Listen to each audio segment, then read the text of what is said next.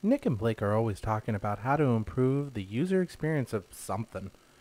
Audible has an amazing user experience, and I'm speaking from experience.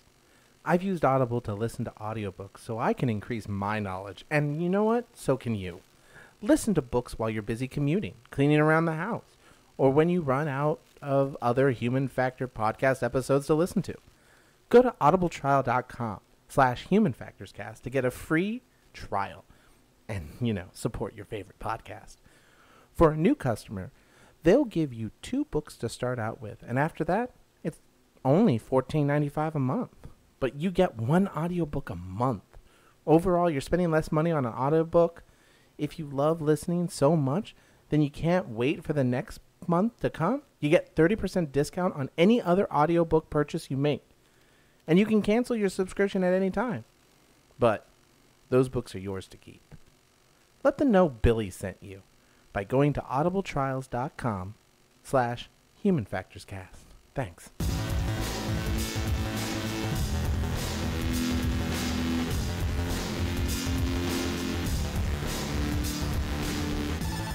Welcome to Human Factors Cast, your weekly podcast for all things human factors, psychology, and design.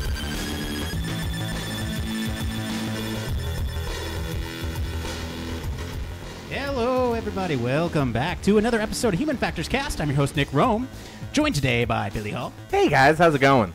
and Blake Arnsdorf. What's up, everybody? Oh, man. Hello, guys. Welcome to another week. Yeah. Are we excited? We're talking about Thanksgiving, I Thank love goodness. Big Turkey And- Day. Big and- Turkey Day. the holidays, and uh, everything exciting associated with the holidays. Mm-hmm. But uh, yeah, I love the holidays. How about you, Blake? Oh yeah, I mean- Thanksgiving's probably the best one of the year for me. I don't know Y- is your favorite? It's my favorite. I mean, you're getting around to eating a bunch of food, hanging out with your family. It's all good. Oh yeah, great turkey Even- dinner, good food, whatever Martha Stewart recipes are out and available. It's amazing. Yes, sir. You must have a good family. Oh, they're insane. Okay, okay. I, I have a good family. I love them too. Oh yeah. I love your family too. Uh, your family I know are you do. You are winners. always welcome over at our house for Thanksgiving. I'm gonna knock on their doors and they're gonna look at me weird now. we didn't invite you. what are you doing here, Billy? Oh, I have a sleeping bag under my arm, and they're just like, I don't know what's happening here. Giant trick Nick's playing on me. So, so before we begin, uh, I just again want to thank our listeners for uh, all the support that they've been giving us. Absolutely. Um, all the feedback. Keep those reviews and emails coming, Mm. uh, and the Patreon support. We love it, especially when you support us financially, uh, for obvious reasons, keeping the podcast going. Um, so, I mean, you know, uh, remember that you can always just send us an email if you have any questions about the show, uh, or they could be short stories or comments. We love hearing Mhm. from you guys. Definitely, definitely. Um, that's humanfactorscast at gmail.com. Uh, and a couple of our upcoming shows here, we got Human Factors of Theme Parks, uh, Psychology of Color. Um, you know what? We would love it actually too if you guys would send in your. Uh, the holidays are coming up, and it's the gift giving season. So if you guys Mm. pick up anything cool on Black Friday, which we'll talk a little Send bit about us today. one. Well, yeah, send us one. For sure. But also, you can send us your review of it or any like neat sort of experiences you Mhm. had with any of these tech devices that are coming out here. We'd love to hear from you. Billy, Yeah. What are we talking about today? The psychology of Thanksgiving. This is a weird topic. How so? Yeah, which I mean, there's How I don't I don't even know where to begin. It's crazy right, one, right? there's well, there's a lot of like uh, psychology and Thanksgiving are not two things that you would typically sort of associate with uh, going together, right? You think Thanksgiving and you know, uh, it's one of those mundane sort of every year things that you don't really necessarily think about. You know, the re- I mean, we all know the reason behind it. Mm-hmm. Um, Well, I, I- let's hope we don't celebrate that still, because Well, some people get upset yes. about it now. yeah, Yeah, no, and I mean, rightfully true. so. I mean, we Yeah. came in and took Knocked the indigenous and indigenous people's home and Yeah. said, "This is ours now. that's like if I came into Let's your have dinner together." Yeah, it's like if your I came into your house, grabbed all your food, and been like, just, just sat there eating it, and said, "You want some too?" Yeah, exactly. So, so I mean, but but we've turned it into a positive spin, Right, uh, right, And right. it's now about what giving, Gathering family, giving thanks, Yeah, um, gratitude, Yeah. all these sorts of interesting concepts. Positive feelings. I mean, Yeah. like I remember that this holiday was always big for me because I uh, even when I was living in Texas, I was far away from any form of family, and I used to gather people up at my college campus together who didn't have a chance to go home or were foreign exchange students and didn't understand or whatever. That's really cool. And we used to do an orphan Thanksgiving, and it was kind of a potluck thing. And I would make a big turkey and a few of the the cornerstone type of stuff, and we would all sit around in my tiny little apartment. Like twenty of us was the largest number we had, and play party games and talk and try to breach language barriers. And that was the idea of it. We were gathered together under a common idea. We were all in college. We were all without our families, and it was the time to get together and be thankful for that. That's cool. What? uh, Family away from family. yeah, that's pretty a tight. that's a cool tradition. Mm-hmm. Orphan Thanksgivings, man, they still happen a lot. Blake, do you have any Thanksgiving traditions that you uh, Oh, for sure. So it, re- to? it really comes down to food for us. So every Oh, yeah. year we have to make, I think it's like four types of stuffing for each different person. Yeah, like some people like it with onions, some people like it with white bread, some people like it with, with oysters in it, believe it or not. whoa, whoa, whoa, whoa! Yeah. Slow your What? roll. Whoa. Some Okay. Yeah. dirty southern stuff for you. um, but no, I mean it's just always. I've actually gotten to like split it up between my mom's family and my dad's family the past couple of years, and I just love doing it. Oh, It's that's cool. nice. That's nice. Yeah, That's get neat. to know everybody. It's fun. I don't. I don't really have any uh, Thanksgiving tradition other than stuff my face with whatever food is available, and that's the American American dream, right? Just stuff in your face. Looking How many people itis. gather up on your Thanksgiving though? well, it depends. Like you know, It depends. It depends. No, a couple like for a couple years, I just didn't have the funds to travel, and Right, so right, right. you know, it, it, things got crazy, and so. Mm. But I mean, usually I spend it with my folks, Mm-hmm. just my folks. Mm-hmm. I mean, like Never a uh, big family gathering. Yeah, usually me, it's like ten or twelve people. How about you? Like Oh. average Thanksgiving gathering. Well, it kind of depends. Like sometimes it's It like, depends. Oh, were we not doing that? Okay. Yeah. I mean, sometimes it's just like the close family. But in the past couple of years, I actually now have a bunch of families on the West Coast. So it was like 20 people last year. Wow. and like all their friends coming in. So it was like orphan Thanksgiving for me. Right. I hadn't like met any of this family, but usually it's a lot of people. Nice, nice. Nice. Well, we have a lot of. We usually refer to our content as meat. Meat. I'm gonna say we have a lot of turkey meat to Oh. get to today. Uh oh. uh oh. God, can we be Really any quick though, before we start, I want to ask you guys: What are you thankful for in design? Would it help if I started? Oh, I'll start. No, Okay, no, go ahead. gonna No, no, get no, the go, go, guy go. to start. We're gonna Go, get the go, new guy to start. So this is gonna be super specific because I'm taking a design class right now. Ooh. But and I have no affiliation with Bohemian Coding or anybody. But I, Bohemian coding. How much did they pay you to say that? oh, nothing. No, but uh, They, uh, yeah, they totally paid you to say that. How Uh, much? Okay, so I say say so what you're gonna wish they say. Did uh, Sketch Three? I'm so thankful for that thing because usually like designing UI and stuff, I would have to know a lot about Photoshop or uh, Mhm. Illustrator. And for Mhm. a lot of the projects I've been doing, like build mobile apps, this has saved me. Just Is so that what quick. Bohemian coding is? Making mobile apps? No, they make a product called Sketch Three, and it's Oh, just it's like a, very quick style. Um, like mock-up tool, but it has a lot of features like Photoshop and I getcha. Illustrator. The segment of Human Factors Cast is brought to you by Bohemian Coding. You know, we should ask. Maybe they'll do that. Right up there Oh, with who Tesla. knows? Send us free Teslas. Billy! We'll, we'll do that. What are oh Teslas? Yes, Yes, Tesla. Please send us those. Uh, Black Friday. what are you thankful for in design? I got to be honest with you. I mean, you um, have a unique perspective, right? You're right. not in the field like us. Right. I mean, to be honest with you, I didn't even know much about what you guys did or how design actually works until a few months before the show even started. But I got to be honest with you, I really enjoy the fact that we do this show. How much did we pay you to say that? so much. no, but real talk for a minute here. I'm really appreciative of this show because the problem is, and I've realized this and I've talked to people about it, when you get into computer science, right, you think you're going to just do coding. And that might turn a lot of people off. You know what I mean? Because I don't want to be a coder. I don't want to just work with those computers. I don't want to just fix and make computers. But you guys do so much more than just fix and make computers. And I'm learning about the idea of the art and the beauty and and and the trials and tribulations of being a designer and all these other facets of jobs an architect and things like that in these jobs in this podcast and I think that's really great for other people to learn about as well. Well, we're sure thankful for you because Yes, you sir. you bring the voice of the people who aren't in the field. Right. You you bring that unique perspective to us and go, hey, wait a minute, what what the heck are you talking about? Bring it back down. Right, right, right. So we're thankful for you too. I think if I can get one person to start this job who weren't actually into this sort of stuff, just to look into classes like that, I think we've accomplished a lot. Oh, one Oh, one hundred percent, man. Here's your twenty. Um, you. so what I'm thankful for, what I'm thankful for is people in our field, not like us. We don't challenge. I mean, we might, but I'm I'm really thankful for the people in our field who don't just look at the, you know, you know this is the way things are done.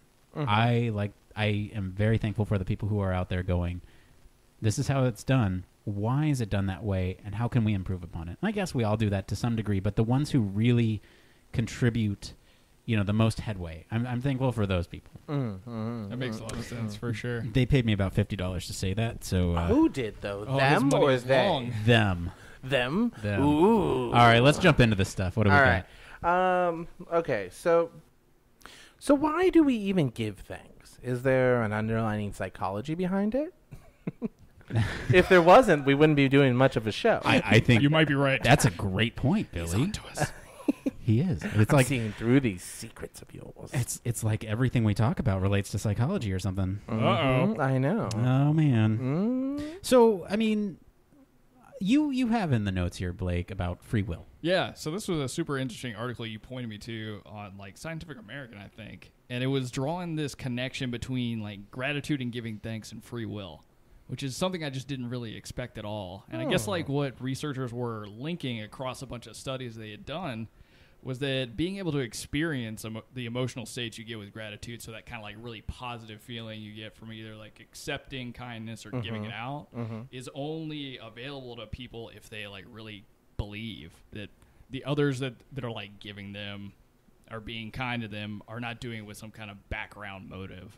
So I'm not paying you. I am not. Uh, what what was the coding company? I'm not paying you. Bohemian, yeah, yeah, yeah. you are not thankful for them because they are paying you. Uh, Which they are not. Well, I mean, like, yeah, I So get it. thankful. So the idea of it is, is you're doing this out of the kindness of your heart, or because you care about the person over the idea of I care about you, so care about me type of situation. Yeah. Right? right. Like I think you you said that you were gonna get me a gift, and I you were candid with me, and you said that you were just doing it so that I would get you something in return. Oh yeah, no, that's Yeah, totally okay, the reason. alright, why. I was kidding, So dude. this this oh yeah was yeah kidding. sure you were. I was kidding. you say you're kidding, but that's how you really get a gift. Nah, I absolutely. Your track record, you still haven't gotten me a birthday present, so I know your track record burn. ain't Oh that good. man! All right. Well, well, who paid for most of the podcast equipment? I paid for a third. I of paid it. for the cables. Oh God, the cables. all right, all right. all right. okay, okay, okay. So, so, so, this is interesting. So, they also mentioned that gratitude, uh, and and sort of this uh, unconditional gratitude can give even like any type of relationship, be it romantic or friendly or you know whatever it is. it- It's kind of a booster shot. So. If I do give you a gift out of the kindness of my heart, not for one in return, Billy, Right, right. then it's kind of like a boost. Like, wow, you really care about me. This is, and it reinvigorates our friendship. So what does it say that you weren't going to get me anything? You said so yourself. I'm not getting you anything, Billy. Is that not? Is that like the vaccination of saying, you know what, Billy? I wish you would die in a fire. Could it be reverse psychology? It could be Ooh, re- yeah, I could be getting you psychology. Oh my gosh! I Let's see how could that be getting you something. Who knows? Uh, yeah. So, so yeah, that. So free will. That's, that's Free cool. will. But didn't you think it was a li- just I don't know. I have to harp on this one a little bit. I thought Harp it was on a, it. a little crazy in in a good way. Like I don't really dispute the fact, but that just being kind to the people who are receiving it has effects on you in a multitude of ways. I mean, it makes sense, right? That that's that whole feeling of reciprocity, Mm-hmm. right? We Yeah. talked about that on an earlier show. Right, right, right. You give me something, I give you something, but Yeah. it's it's uh it's it's more basic than that. It's like, um, I- Well, can Abraham- you can you ever really do it? Just Well, be, Abraham Lincoln said it the same way. He said to I don't remember who it was, but he said, "Hey, there's no such thing as a altruistic mo- uh, altruistic thing." He was, like, and then when they were going down a cart, they saw a turtle on their back. He gets out of the cart, flips the turtle over, takes it off the road, puts it in the grass, and the turtle goes about its way. and then he had turtle stew. But no, then he said, and then the guy he was riding with said, no, right there, that's altruism right there. You get nothing from that turtle by helping him. He's like, that's not true. I would have been worried about that turtle all night if I hadn't helped him. Hmm. That's really interesting. I had Yeah. never heard so, that story yeah. before. So is there? Yeah. Is there really any such thing as being like completely one hundred percent? Well, I mean, if you look at it on the overall picture, I mean, like you and me are friends, Nick.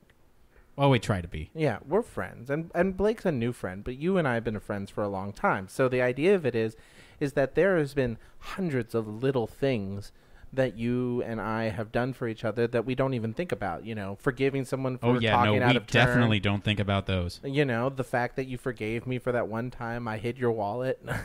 Oh yeah, let's not. All right, this is not the oh. venue to talk about that.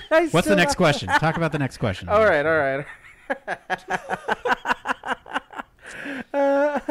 uh, uh, okay, so how does free will come into play? So we'll tie this back a little bit to the research as I mentioned earlier. Mm-hmm. So they came out with it's not necessarily a model, but that's kind of how I phrase it. Is uh, just this series of levels of how you experience gratitude, right? Mm-hmm. So it's re- it's always related to the person who's receiving it. Mm-hmm. Like, what was the cost of the person that's giving you this this kindness? Was it is it really a big deal? Did they spend a lot of time? Is it like a, a painting that I drew you, or something like that? Um, and then there's like the value to you, the person who's receiving it. So it's like that's a super big deal as well. Like, does it really mean anything to me?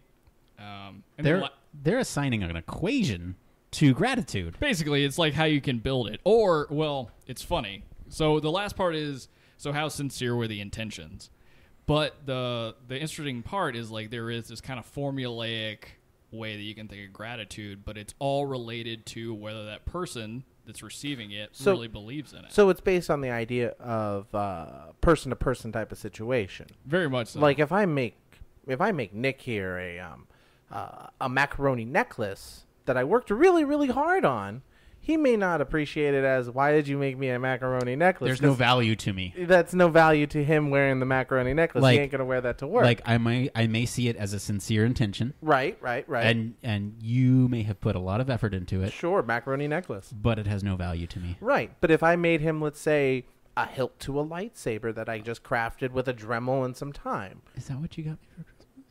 I you still haven't helped me build my lightsaber yet. All right, we need to do that. Yeah. Ooh, yeah. Let's do a let's do a human factor cast of crafting a lightsaber. uh-oh Oh yeah, man, the usability of all the tools we use. I and feel how to like do I it. almost have to run and grab my lightsaber right now and and turn it on just for the audio. Wow. and let's not. All right. Okay. Uh, let's see here. So what else do we have in here for free will? Um, Uh, ulterior motives, right? oh yeah. Those are an issue still.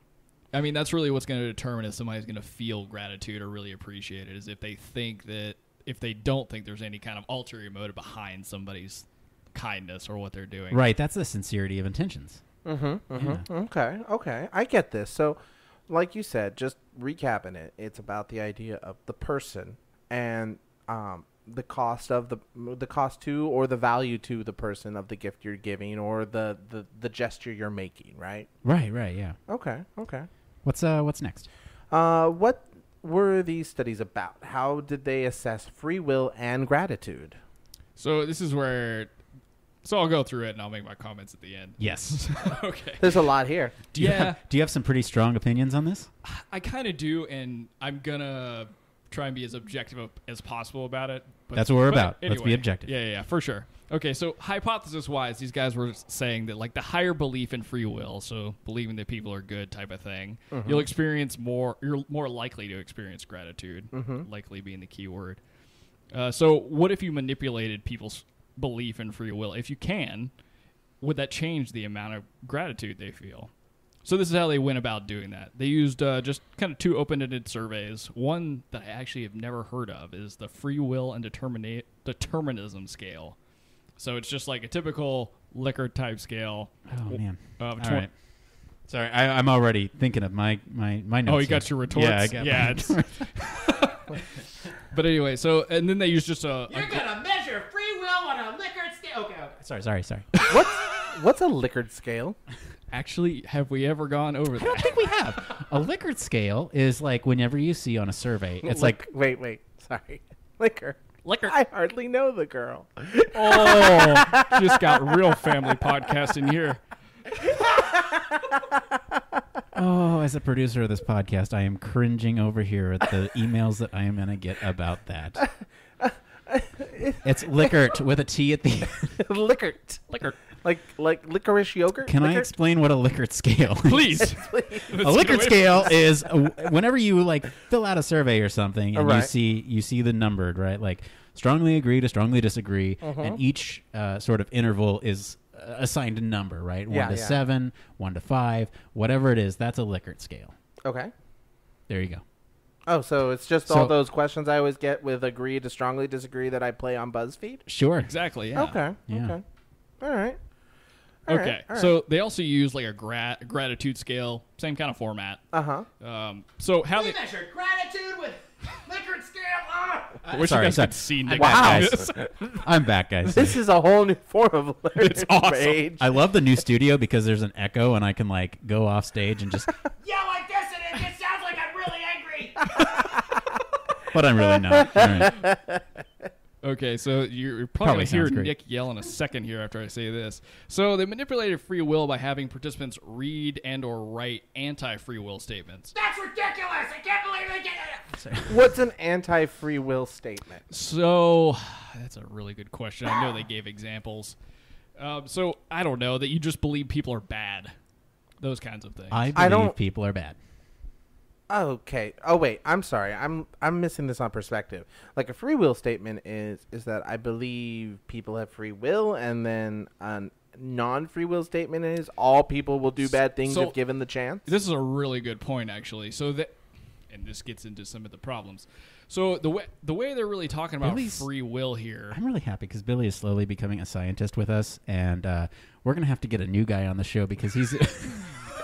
Got This an is- outside I'm- perspective. I'm That- not happy about that, but Uh, I, I, mean, am- I think it's the greatest thing because he's basically saying, "I'm sorry, Billy, we're gonna have to let you You go, know but too you're much. just you, You know, know too much." you know too much. and, and then they just right. he removes my heart. Let's get back to this study. in the ninth circle before we know it. I see. Uh, so the, the way they're kind of defining free will is like whether or not you believe people can be good Uh huh. and not have bad intentions behind what they're doing to you. So I that gets away from like the philosopher's defini- definition of free will, and I don't necessarily agree with what they're measuring. So these people are making ju- uh, statements about everyone else, like everyone is inherently good or everyone is inherently bad type of th- situation. Yeah, it's a little more specific than that, and it is my bad that I don't have examples of those two statements, but Okay. that's kind of the gist of it. Um, and so, results wise, I, I mean, they also had a control group who didn't write anything, or they wrote just neutral random statements. Um, and so, what they found People are people. yeah, pretty Okay. much. Okay. Okay. Okay. yeah, uh, mm, yeah. okay, Um, well, I'm sure these researchers are great, and uh, but I mean, No, we I are- have no doubt because there was four Yeah. studies run and published, so I mean, there's something to this. I Yeah, just, I don't know. I, I, I mean, methods are a big thing uh, for me. I- I, I mean, Yeah. get your methodology right, and but I mean, y- who's to know? Who's to say? Anyway, I, Well, I I, mean- wouldn't want somebody criticizing my work. But at the same time, if you're trying to measure free will, you're going to come under that kind of criticism because they even say in like the breakdown article of it and in their own paper, like free will is a very philosophical construct. It's hard right, to at try least and at least they're aware of that. operationalize. Yeah, no, no. I mean, they're going after some some interesting stuff in a scientific way. All right, let's let's move on to the next point. This whew, this study is heated over here at the Human Factors Cast table. All right. Um, that is actually a really good one that we went over the last time. But uh, next question would be: Thanksgiving is great, but and all, but wouldn't be you wouldn't wouldn't being more grateful is that a, is that correct term? Being more grateful all year around be more beneficial to everybody? Can't we just all get along and love each other, sing kumbaya? Have you seen the political state of the Americas over the last? cou- We'll talk about that later. We'll talk about that later. I, I agree with that standpoint. I was I was trying to But get I my mean- Segue King back. My no, Segue you, no, King there was, crown. no, no, Yeah, you- all right. No too golden early. crown of Segues No, for it's you. too early. sir. Too early. I don't get that it. on All right, that all right. head. No one likes slow, So- fast segues. So gratitude all year round. That'd be cool. Um, so, I mean, being grateful. There, there's a study. Do you do you know? Do you have the source on this? You know I what this is? do not. Is this still Scientific American? I feel like this is still Scientific American. I mean, Scientific. America has written a lot of articles, so It's Well- probably in there somewhere. We'll Yeah. get it. All right. Uh, so the this article uh, says that uh, let's see here, gratitude has a lot of it's correlated with a lot of really positive benefits for you, right? So it opens the door to more relationships. Mhm. Uh, you know, with with um, when you thank or acknowledge someone, it, it builds sort of that relationship with somebody else. Uh, it improves your physical health, which is interesting. I'd like to see the source on this, but I believe it, right? Because you're you're prone to take care of yourself. Um, Yeah, I if- really wanted to see where that was coming Yeah. from, and because it, it kept coming up over and over and over. I, like I said, I believe it, but I want to see what kind of studies were run to do it. You know what the thing about it is that I can't quite Hmm. get over with all of this though while I was reading these notes because I read these show notes.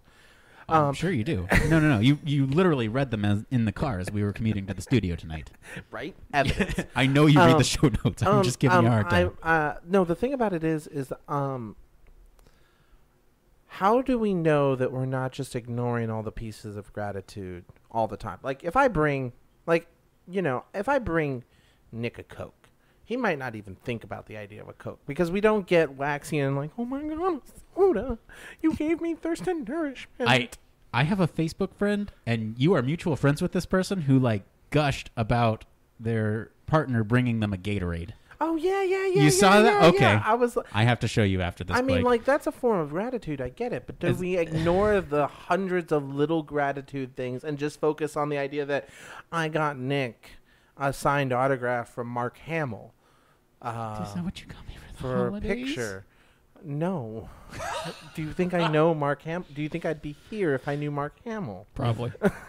I'd be hanging out with Mark Hamill on speedsters and R2D2. But anyway, do we ignore the hundreds of little things because we're so caught up in ourselves? That's confirmation bias, I think. Yeah. Right? Because you have you're you're you're only paying attention to the things that uh, don't sort of stand out, or you're only paying attention to the things that do stand out. Yeah, but how do people actually register that in this in these studies? The person walks down the street. How do they know the hundred things of I moved a couple steps to the left so that old lady can get by without having to move around too much because she's carrying a bunch of bags? How do we measure that? Yeah, again, I mean that goes back to the problem that I think Nick and I were both having, Right. is because we're trying to measure something so hard to define Right. that it's a, Yeah. I don't know, and it, we're basing it Okay. off just a scale These- too. Okay, so that's These- these I, I'm catching up then. You have to you have to think about these. So these are uh, psychological constructs, which is an idea that is defined by uh, sort of these um, these these methods that we attach to it. So uh, i- it's really hard to get at a, to measure psychological constructs because they're not concrete things that we can measure. And so in the psychological field, the best we can do is sort of uh, it's like our best guess at how we can measure this. So Likert scales is not an uh, a one to one analog of how you're feeling inside. Right. It's our best way to represent that, as far as we know. And there's you know sometimes there's testing batteries that have like a ton of different. Uh, questions on them that help narrow down how somebody is feeling about a particular topic. Uh, and s- psychological constructs is a really interesting episode idea. It's very true. I mean, Green Lantern did it all the time. ah, it's like a mic drop moment. Right? He Yeah, no, he imagined did. those things and they Mhm. appeared from the ring. Very true. Like, yeah, psychological constructs. Well, those are those are like thinking of an item, but I, I mean, think of like free will. That is a psychological construct. How do you define what free will Oh, is okay, in somebody's so mind? it's the idea of like Consciousness. morality is How do you based on the define idea of consciousness? like morality is based on the idea of what our laws are. If our laws were the idea of like saying hello is punching someone in the face, punching someone in the face is such a nice thing to do. Like that kind of idea. I mean, that's really borderline, but it's We're best friends. it's a construction. It's it's a constructive thing, right? Yeah, I mean, you're trying to put parameters around something you can't really understand very well. so Mm. you're trying to Let's- make it meaningful. Let's get into some of these other things. So it improves psychological health, uh, right? So we talked about physical health, psychological health, uh, and and I mean the same thing can be said about any of these. Show me the methods. How do you measure these? Like, is it real? I mean, I believe some of these, right? Well, I mean, this at least keeps you guys working. Yeah. Right. psychological health, uh, I'll physical tell you the health. one that I don't believe. Which one don't you believe? reduces aggression. I can believe enhancing um, empathy or whatever. Maybe I'm just thinking of the holidays. Well, I don't know. It does Ooh. reduce aggression. I mean, if you think about it, and you, and you get into a new relationship, everything's great. Everything's hunky dory. Everything's strong. There's the honeymoon period associated with and, that. And, I mean, and during that time, don't you guys give each other a lot of little kisses, tell each other a lot of secrets, do little gifts, do fun things together, learn fun stories? You're sharing. You are giving each other forms of gratitude constantly. Yeah, and I, I don't know. I just have a weird thing about that changing aggression because I feel So- like that's a little more of a hardwired, hard. I don't know what that was. Hardwired thing. Southern as a- twang over there. Yeah, Yeah. like a mix of Southern and somewhere from Boston. Had I, get, I believe Had. that our idea of it is is that the amount of gratitude you put in and the amount of good th- vibes you bring around us, the hippies were right. Good vibes make it happen. Unlike sometimes some topics and some forms of gratitude, like talking politics and Thanksgiving. Dang it! Yeah, I was got there. Got Ah, dang it! I was gonna take it from you. I was So gonna take it from you. Why do we like to talk politics at Thanksgiving? I think it really comes down to a lot of. Th- there's a lot of things, right? Mm-hmm. Uh, no, give me that crown back. give me that crown back. Take it. Anyway, if somebody is out there still working on that Segue crown, uh, send us an email. We'll tell you where to send it. Uh, no, but um, no, I think it has a lot to do with the temporal proximity to the election, Mm-hmm. right? I mean, it Thanksgiving happens right after the United States election, and so so it's uh, fresh on everybody's minds. not even just the election, but everything that led up to the election, everything that led after the election. Yeah. It's all over the news. There's there's still stuff going on. Everybody's either really happy or really upset about the state of the country. And, And I also don't know, but my family is always divided. I've got like half and half Republican and Democrat, so it's always just It's kind yeah. of a clown show in there. Oh, it's going to be kind of a fun one this year. oh, Uh, it's. I'm not looking forward to it. Wow. Yeah. No, this year will be fun for sure. Um, yeah. So there's there's a New York Times posted an article about uh, the political divide uh, as we approach Thanksgiving. It was really interesting because there was uh, they they quote Robert D. Putnam, who's a he's a professor of public policy at Harvard. Putman or Putman? Putman, Okay. uh, and he also wrote the book Our Kids.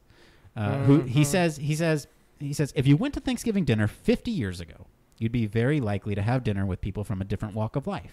Mm-hmm. Wait. kind of like the What? orphan Thanksgiving you were talking about. yeah, that's how it was. I mean, think about n- not just 50 years, 100 years, 200 years. It was very different. The idea was that you're coming together with people who are not you know, of your of your culture. You're you're sharing, you're giving thanks to these people that you stole their home from. Oh yeah, well I mean, even think about just how you connect with people Oh, now. Being what is that? 1966. That's a long time ago. Uh, yeah, I'm. Not, Wow. when did Columbus sail the ocean blue? 1942. There you go. There you go. Rhymes. Uh, yeah, it does. Um, but no, he says that uh, y- yeah, it was a different walk of life. He says that uh, people surround themselves with the same culture now, and they don't stray too far from the tree, right? So like today, there are far fewer people who are different from us around the table. It's our family. But I disagree with that. I think I do too. think I think if you you know branch off from your family, it's it sometimes that can be more detrimental to the way you think because when you're all in the same household, sometimes you know you you think to get it's that groupthink effect that we talked about, or you know it could be the rebellious child who refuses to believe the same thing that their parents do. So it's it's almost like a, Blake has something to say. No, that's just me, rebellious child. Oh. Sorry. This is a I thought you podcast. were- You, can't just wave your I hand thought you were in raising your acknowledgement. hand. no. Okay. Uh, I mean, like, I get that idea, but it's also, I mean, I think it's also because of the sign of the times. We live in a world where freedom, uh, where information is freely given and freely taken with the internet and all that sort of stuff, and we can make more concrete, concrete opinions based on everything around us. Then, and they can be widely different. Like, my family watches Fox News, and that's all they watch is Fox News. No other news station, just Fox News. Mm-hmm. And then they go on, fa- but they do go on Facebook, and what do they see? All their friends watch Fox News and post things that are very conservative of nature. So think it's a group think. Me, I have friends like you guys, and I have Facebook, and a lot of you guys post things that are maybe more liberal or more middle of the road type of ideas. And then I am bombarded with these things. So how can I not be influenced by those sort of things? That's interesting. I mean, because the cultural divide in our country is growing, and so fewer and fewer Americans, at Uh-huh. least. Sorry to our friends across the states. We don't know what the political situation is in your country because we have I would enough imagine going on. there's something and I'm similar. sure you guys are paying close attention to what's going on over here because it's just We're a big deal. it's just crazy. Mm. So, uh, but yeah, as, as fewer Americans are willing to cross this cultural divide. And if I may take that segue hat back, because uh, here we go. Speaking of that cultural divide, let's talk about the darker side of human nature. What do you mean? Black Friday psychology. No, it was a Bum, bad bum. segue. I'm No, sorry. uh, I'm you sorry. know, I mean, you could have done better, but you weren't going off of a lot. let's like- talk about eh. the dark side of psychology. The Dark dark, side. the dark side. I can see Darth Vader with a lightsaber. I'm here for the doorbuster sales. I find your lack of doorbuster. I find your lack of deals disturbing. disturbing. They're going to see this fully operational 4K TV. I have to hand it to you, man. That was a good one. That was a good one. I'm going to keep the hat then. okay, so we have so many articles, but this one is from Deal News, uh, and this one this was actually just a couple days ago, and this was actually uh, we were putting together show notes, and I thought you know we wanted to cover Black Friday, and they put this out just a couple days ago while we were putting this together, and we were like, all right, let's just give them credit for it because it came out. It was a great article too, and it was about the psychological reasons why we go crazy on Black Friday. Did you guys see this article? I did not, but I love this first. I mean, I've seen articles about hmm. this idea of the psychology of Black Friday. How I always thought it was more of a hunter gatherer thing. Jump on those deals, jump on those savings, and then you feel guilt afterwards because you didn't get this good. That's part of it. No, so they they list. Uh, I think it's ten, but we only have a couple here. Uh, they they they list a couple of reasons why Black Friday is such a big thing, and why why people are you know, what the underlying psychology behind it is. what is it? And I, I really appreciate this because we're talking about being grateful and gratitude and what it can do for us, and now we're talking about the dark side of human behavior. Let's manipulate people awesome. with psychology. In all fairness, All right. it is the next day technically. That's very That's true. It's true. not the same I- day. I mean, well- it's not the same day. No it's thanks. not like hey, Black Friday deals start at like 6 p.m. on Thanksgiving Day. So I was like, you know what? It's fair. It's fair game. a lot fair of game. people are boycotting that now. A lot of stores are shutting down. They are. saying no. They are, but let's Good. talk about why Black Friday appeals to us on a psychological level. Okay, Deals feel so good. I'll put it in my veins. Shock actually hurts. Yeah, no, no, no. This was this was really interesting. Like when you see an unfair price, you were like, ah, I want that, but there's no way I can get it, right? Like unless you wait in line, unless you do all these things. Very true. And when you get a good deal, it induces pleasure. It's like, yes, Little I've- dopamine drip. Exactly. I've done like I've worked for this. This is mm-hmm, mine. Mm-hmm. I mean, like you I beat PS up that little kid who was helping his mom try to get this 4K mean, TV. This is a year-round thing. You bought a PS Vita for like real cheap. yeah, it was like 60 bucks. Yeah, and I would love to have a PS Vita, but they're like normally like 150 bucks. Whoa. Did you feel physically pained? I felt like, oh, especially when I Yeah. found out I could play the games I like on my PlayStation Vita. I was like, no. So this next point here, limited time sales and product quantities uh, create a sense of urgency, and this is this is very true, right? Mm-hmm. Whenever you hear words like limited time offer, special deal, That gets me every time. The all year. last one. yeah, the yeah, last ten in stock, last ten in stock, like.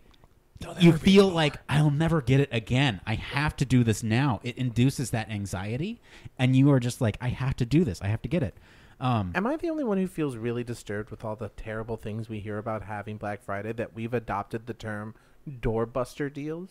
I'm literally going to bust the door Yeah, down to get this door's thing. coming. you now. hear about all these people who get trampled or pushed against stores who have physical pain or injury or something like that and then we started calling them doorbuster deals that's like if we called like if we kept zeppelins around and we called them firecracker deals Firecracker. Aw, You know? Yeah. selling zeppelin tickets are firecracker deals I, I, I have a problem with that i'm always like why do we call that that anyway sorry Yeah, no, and it, it has to do with the scarcity of resources. You know, like if you have less resources available, you are going to try to get what you can before they're gone. right makes sense That's crazy. Oh yeah, doorbuster deals. Here you go. Getting a doorbuster deal or a limited item can make you feel superior and validated. Now this one was interesting, uh, but I, I guess I can see it from the competition standpoint, right? So if uh, the sense of competition actually validates the idea of bargain hunting, okay right? You make it a game.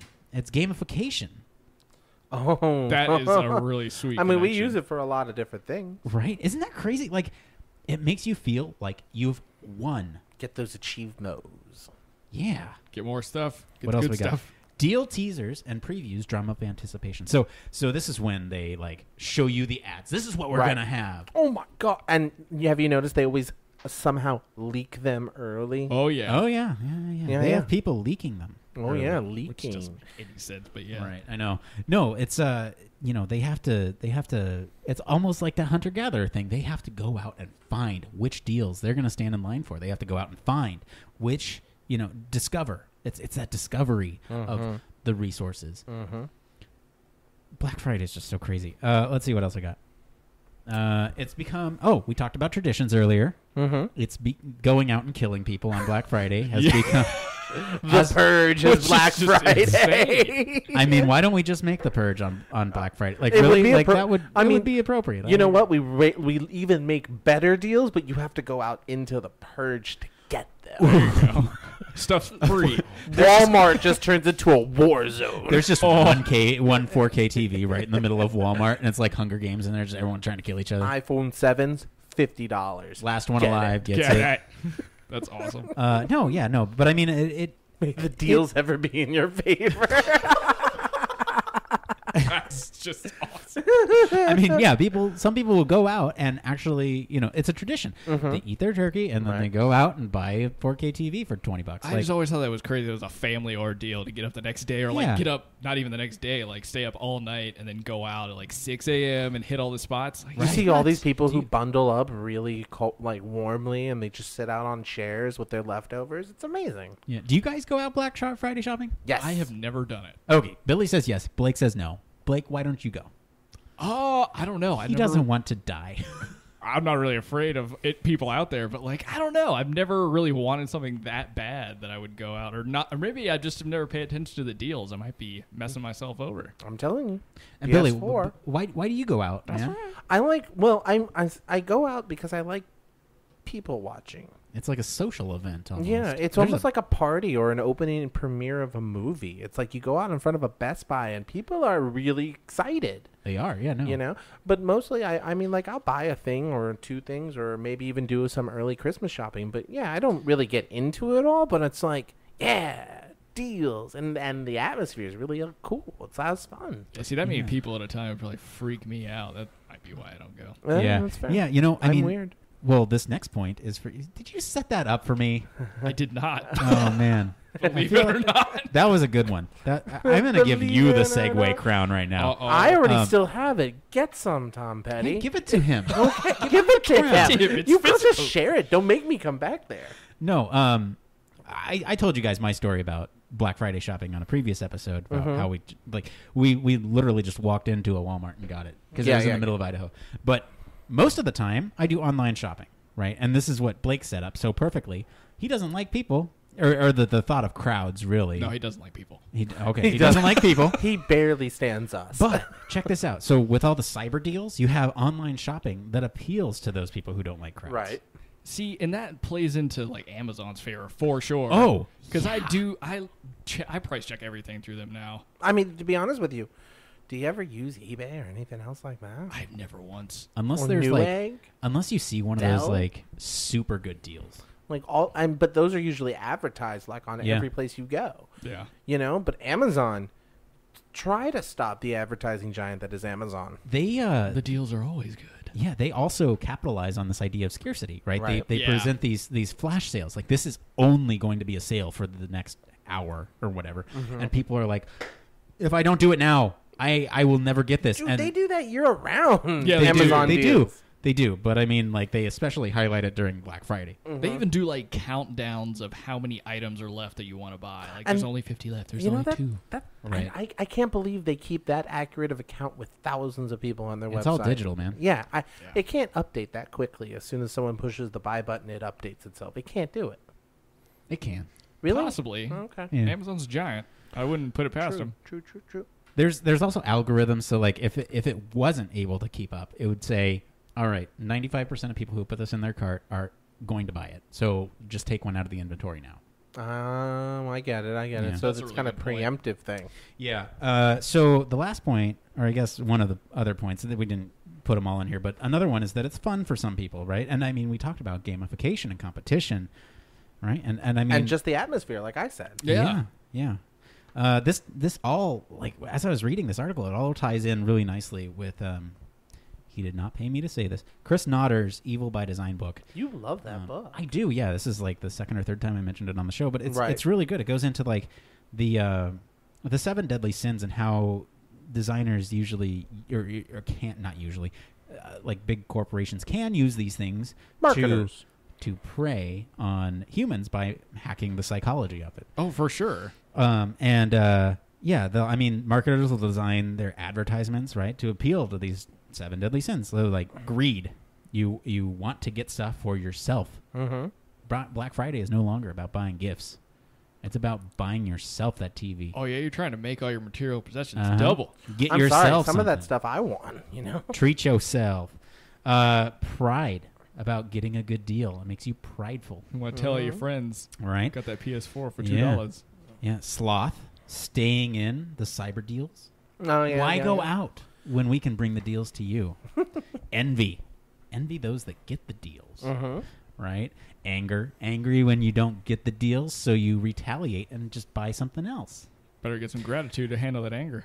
It's crazy. So, I mean, uh, I mean, Black Friday is just, Wait. it's probably the worst of greed, human- pride, sloth, envy. You're too short. Yeah, I am too short. I didn't put them all in. I was Oh, just okay. highlighting. Just points. making sure. Your No, normal no, height. I mean, it might have been a thing. Okay. I mean, so how do you get lust, really? I mean, you tell- lust after the deals that you see. That Okay, happens all right, before Black all right, Friday. I- Or Yeah. the deals that other got that you didn't get. that's true. All right. So this has all been pretty depressing, all this Black Friday. yeah, killing let's end this on a positive note. You know, there are things backed by psychology. You guys have said so that we, but there are also things in psychology that we can do to get the most out of Thanksgiving. How can we get the most out of our Thanksgiving? Tell our audience how we can bring everybody together and sing that kumbaya. Yeah. So Psychology Today put together this uh, article about recommendations for being more Grateful. take take advantage of these traditions, Mm. right, in your everyday life. So uh, they have three points and kind of a uh, uh, a friendly note to end on. So let's let's talk about this. So express your thanks to someone who made a difference in your life. Now this kind of goes back to what you were talking about earlier, Blake, with with the uh, reciprocity with gratitude, right? Like if you if you are grateful to someone, they will be grateful to you in return. Uh, so, like for example, uh, in in one study, is this Marty Seligman? Is this the same guy? Oh, I think so. He uh, and colleagues uh, had research participants take a week to write down and then deliver a letter of gratitude to someone they never properly thanked. Mm-hmm. They found that depressive symptoms, on average, declined for one month after the event. Interesting. Yeah, I thought that was cool. I feel like that's Okay. a, that's a stretch. So, but so alright. I, I know. I, Well, But I, I like mean, it though. I like you know, it. This like it. isn't an uncommon practice. People in AA and all those types of groups do this stuff all the time. Yeah, I feel like you know, s methods aside, I and if feel it's like, like, a this well has some crafted merit. letter, for sure. Yeah, you Yeah. spend some time on it. Methods aside, I feel like this has some merit. Um, and I mean, you know, this this week especially would be a great opportunity to apply this because think about someone who's made a significant difference in your life, or you know, even even someone positive or negative, I guess. You know, if you write them a letter of gratitude, if they have galvanized you in some way because they hurt you, or if they have done something great for you, write them a letter. Okay. Celebrate Thanksgiving. Write them Makes a letter. sense. Um, they also talk about keeping a gratitude journal, and there have been a lot of studies on on you know keeping journals and keeping uh, sort of this. Um, uh, if you if you track what you do, you're more likely to be aware of it. So like tracking your food intake or uh, tracking. Um, you know your exercise or something you're more likely to stay on top of it if you know what you've done and where you need to go Hmm. You know, I mean, like, you know what I would like to see? Just a bunch of anonymous types of gratitude journals. Just something you can read through. You know, I think that's what we need on the internet more. More positive, wonderful things you can look at, like, oh, Ye- that's great. more anonymous uh, I mean, just an anonymous Postings? Yeah, person, so 'cause- you could put your 'cause that'll end gratitude well. up there without being judged for it, and just put it out there. No comments, nothing like that. Just like or dislike, and then go.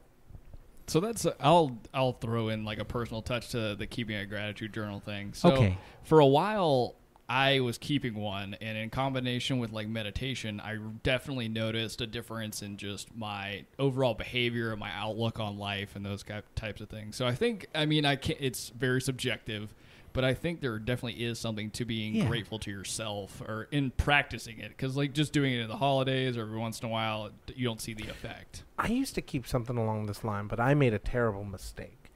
I, I, was made a huge mistake. I I did it the other way around. Every time I would get angry or frustrated or have a problem with something that I couldn't control or it's just a person being a jerk type of thing that you know on the street, I would write it all out. I would get I thought I was being cathartic and getting it out of my system. Problem is is I'm making a Landstein record to get mad at again.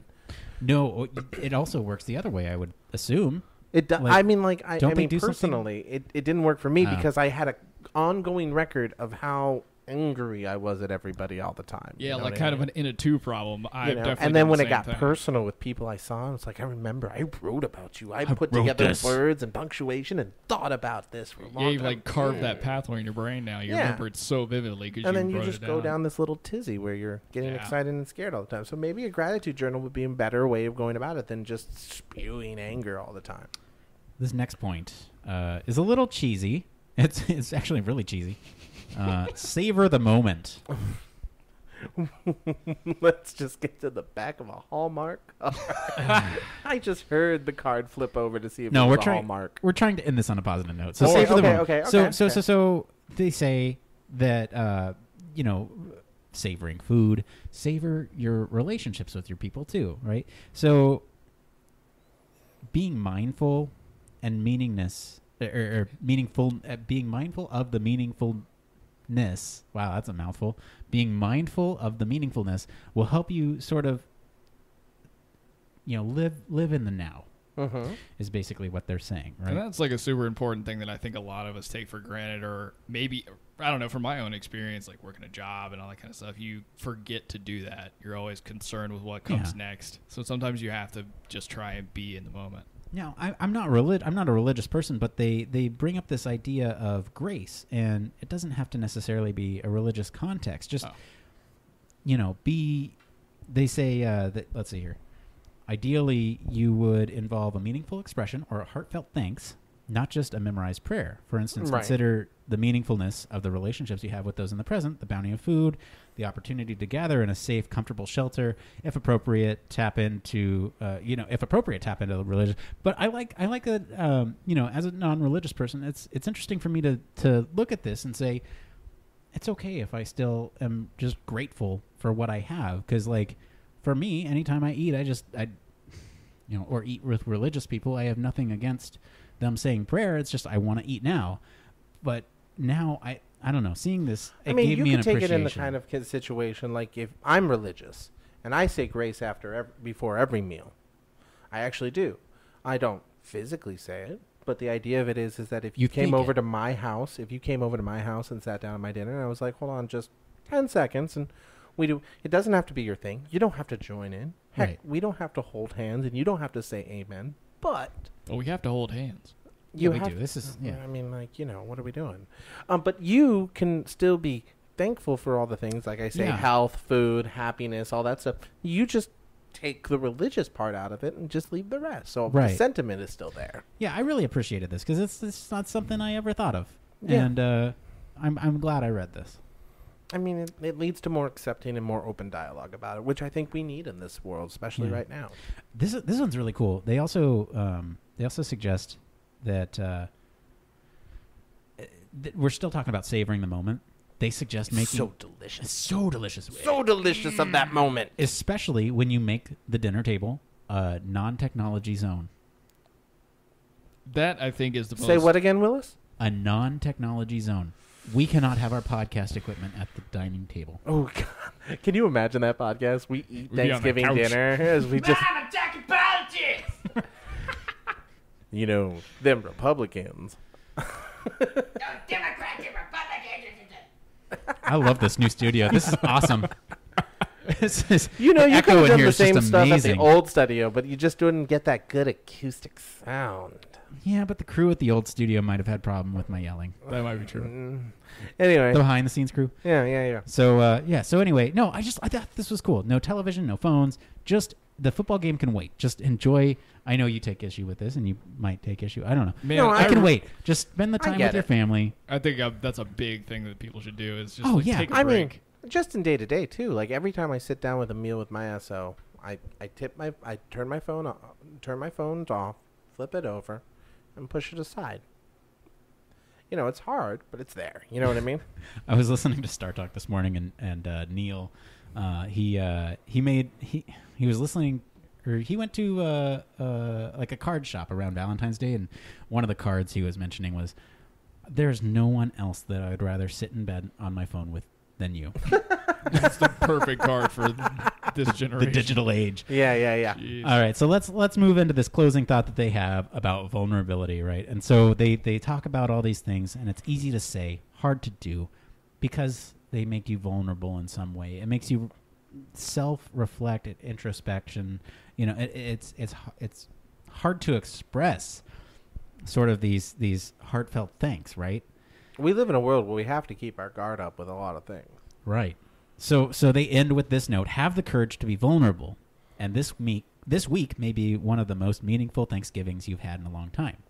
Mm, mm, Interesting. mm. I don't know. I thought it was cool. Like, how do you apply this psychology to your life? Right? We always talk about applying psychology It's, to design. it's difficult. It's a difficult thing to do. Like Oh, yeah. Nick is Nick. You're one of my closest friends. oh, thanks, man. But every time you're like, "Hey, Billy, come here," I'm always thinking, uh, "What are you gonna do?" You know, there's always that sense of I'm gonna surprise you with show notes and be like, uh, "Here you go." like, uh, or, or you know, that sort of thing. You know what I mean? Like, we live in that. I mean, that's that's a very rudimentary form of it. But I mean, like a lot of times, you know, it's hard to let down that guard in any way, shape, or form. You know, what about you? What do you think, Blake? I don't know. I mean, I laying down your guard is just a tough thing to do, especially nowadays. I feel like you have to. Mhm. I don't. I don't know how you guys feel, but I feel like I have to pretend to be a couple different people throughout the day. Mm. With, depending Put on on different hats. Professional. Yeah. Yeah. professional podcaster, you know, living Uh, the extraordinary yeah. life of Partner. Blake outside of it, Yeah. partner. It's just, it's just a lot of different faces you have to wear, and you sometimes you get lost in the mix. So Mhm. then, like being heartfelt, it's almost like you bury it down a little bit. Mm. But anyway, Mhm. Well, what do you guys think? Are you going to talk politics with your relatives at Thanksgiving? Are you going to keep a journal of gratitude? Let us know in the comments or send us an email. That's got to be it for today. If you want to be featured on the show, we're all over social media. Go ahead and comment on our SoundCloud, Facebook, or Twitter. Or you can send us an email at humanfactorscast at gmail.com with all your questions. You can also get to the front of the question line by supporting us on our Patreon site at patreon.com slash humanfactorscast. Be sure to like, subscribe, review us on iTunes, the Google Play Store, SoundCloud, or your favorite podcast directory. We're always trying to keep in touch with interesting topics that you guys want to hear about on the show, so feel free to suggest a way. We got some good ones. Blake, where can our listeners find you? you can drop me a line on Twitter at uxchillbro. As always, Billy Hall, where can they find you? You can find me on Twitter or on YouTube at Comstar Cleric. As for me, I've been your host, Nick Roome. You can find me on LinkedIn or Twitter at Nick underscore Roome. You can also find me failing after this podcast. Stay tuned. Thanks again for tuning in to Human Factors Cast. Until next time, It depends! be sure to stay tuned after the credits. It's great. Epic fail.